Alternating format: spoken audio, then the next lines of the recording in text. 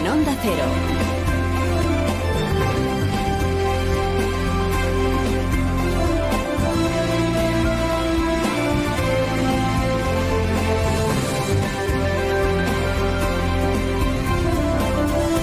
¿Cómo están? Bienvenidos a una nueva mañana de radio. Estamos en el tercer día del mes de septiembre del año 2019. Primer escenario informativo para esta jornada que estamos iniciando, la Sierra de Madrid. Las dehesas en Cercedilla, porque allí dentro de una hora se va a retomar la búsqueda de Blanca Fernández Ochoa, búsqueda que dirigen los profesionales de la policía y de la Guardia Civil. Participan también, lo hicieron ayer, más de 100 voluntarios que recorren el monte o peinan el monte en grupos de 10. Aquí es muy normal encontrarte objetos de gente que ha subido o ha dejado un saco porque ha pernoctado, eh, es lo habitual. Esto es una zona muy transitada, lo normal es encontrarte vestigios de mucha gente, sí. Se han encontrado cosas, objetos, pero ninguno que pueda atribuirse a Blanca Fernández Ochoa. También ayer los perros dieron señales de haber detectado algo, pero nada que permitiera finalmente relacionarlo directamente con ella. Portavoces policiales atienden con cortesía a los medios de comunicación, pero no tienen más que, no tienen más que contar. Hay que seguir rastreando siete picos, ese valle donde ahora está centrada la búsqueda. Y esta es la hipótesis que ayer aportó Lola, que es la hermana de Blanca, desaparecida, la hermana con la que Blanca Fernández Ochoa convive. La mía, pero esto es una cosecha mía, ¿no? Yo creo que Blanca vino y le pilló la tormenta del, del lunes 26, ¿no? O 25, no sé qué era. Y yo creo que se refugió o que se ha accidentado o que no lo sé. Una parte de la investigación consiste en reconstruir las horas o los días previos a la denuncia por desaparición. Hasta ahora se ha conseguido llegar hasta el 24 de agosto, es el último día en el que se tiene noticias de lo que hizo Blanca Fernández Ochoa. Hizo ese día compra o al menos acudió al hipercor de Pozuelo en la M40 y hasta ahí, eh, hasta ahí lo que se sabe.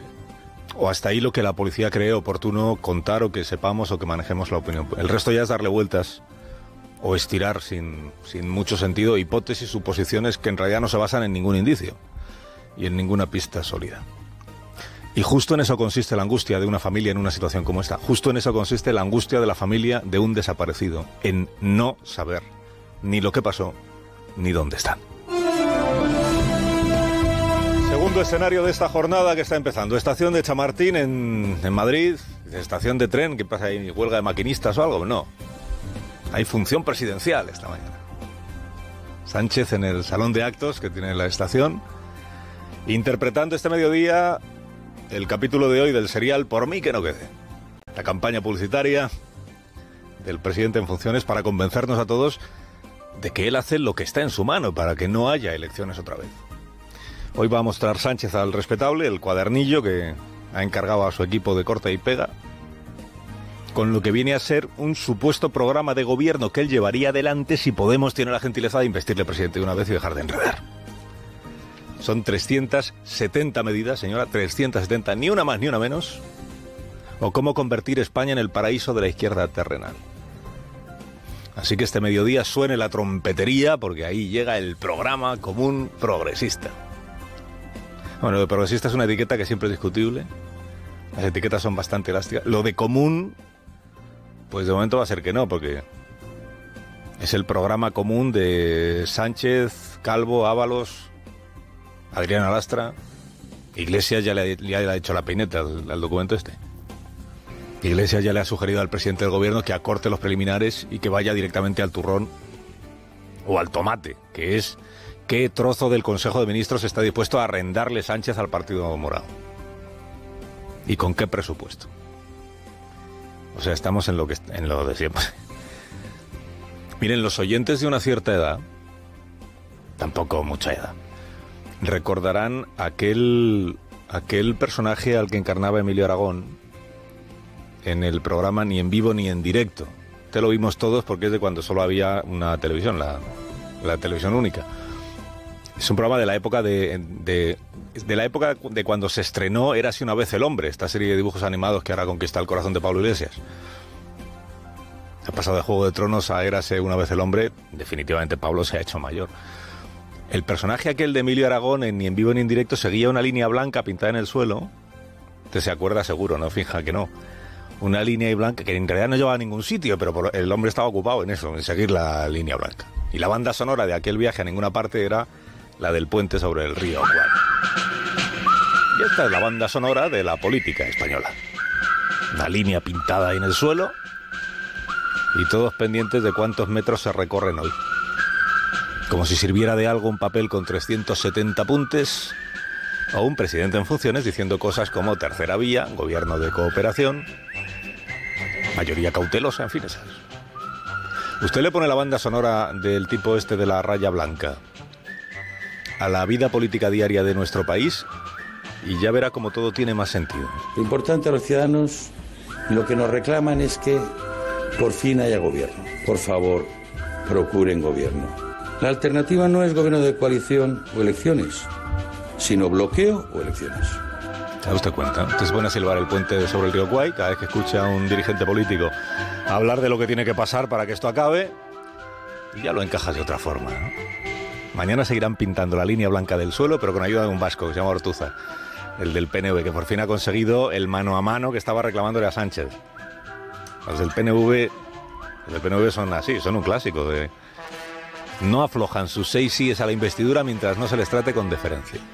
Mientras no se haga visible una negociación como Dios y el Endacario Urcuyu mandan. Y mañana el PNV tendrá su reunión.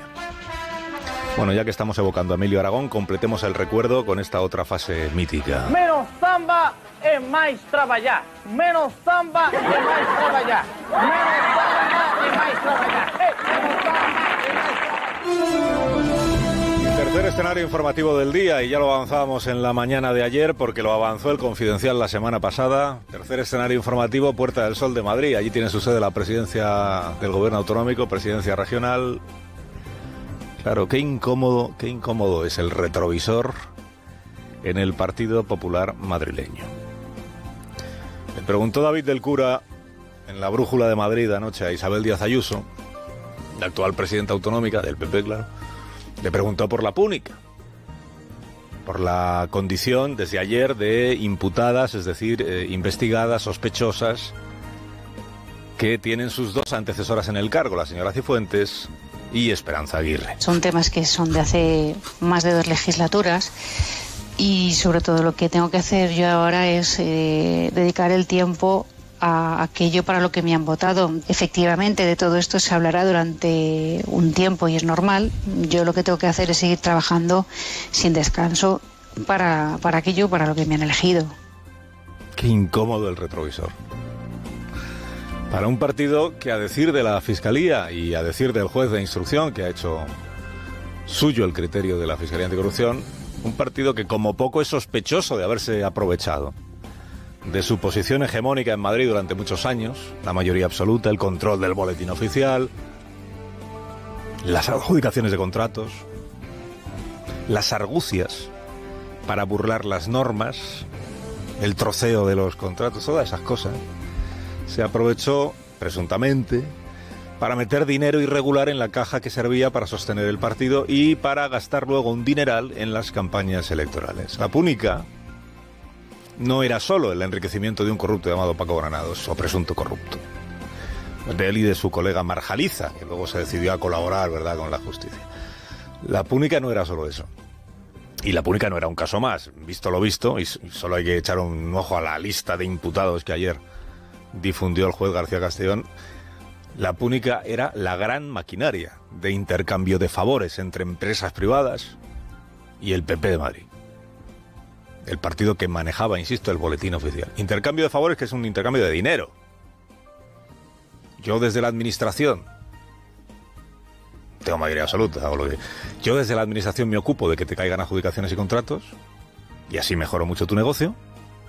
Tú me entregas una parte para que yo tenga la caja del partido llena y pueda permitirme campañas electorales que cuestan mucho más de lo que declaro un win-win que se dice ahora, ¿no? Gana el corrupto, gana el partido y gana la empresa que suelta la viruta.